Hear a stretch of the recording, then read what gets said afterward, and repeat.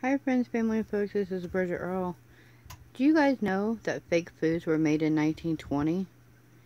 Do you guys know why fake foods were made in 1920?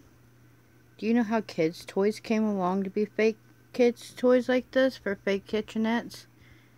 But here's a cool little fact you guys didn't know. In 1920, it started out made by a Japanese maker, and what they started out for the fake foods were for displays, used in stores, used in restaurants to show you what they had. Then one person said, wouldn't that be neat to have that at home for your kids to play with? So wazoo, there you go. Fake foods came along. So that's a fun fact for you all to know that came from 1920s Japanese. And this is the fruit section. I have a banana, a lemon, two oranges, an apple and an apple, a pear, grapes, two watermelons, and a bunch of slices of pineapple. Then I have scrambled eggs, eggs, and then an Easter egg like you would dye. Then I have the sweet section with the donuts, the ice cream, the chocolate, the butterscotch, the biscuits. Then I have the protein section with walnuts.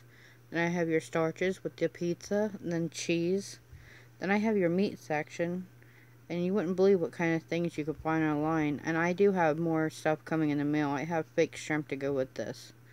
Not only does your kids play with this, you can also use it for props like I do. You can set it up and put it in different little areas and you can draw.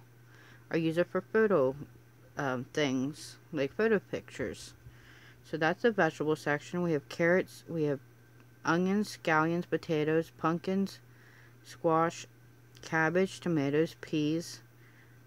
We have the Mexican peppers, we have corn, we have eggplant, we have asparagus, lettuce, we have two different type of peas, snap peas, and then we have tomatoes.